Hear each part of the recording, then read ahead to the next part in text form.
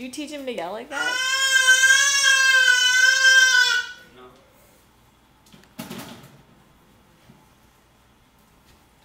Must have heard you.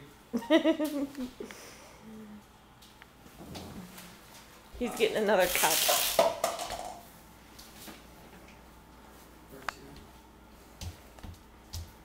He's going to the fridge. Look, he knows where to get the water. Here, let me help you up. Here. Great. Teach him how to climb.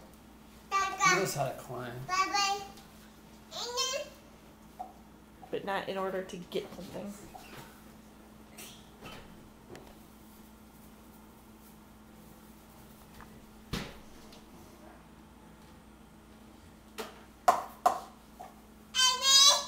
What's wrong with the other cup? I Forgot where it was.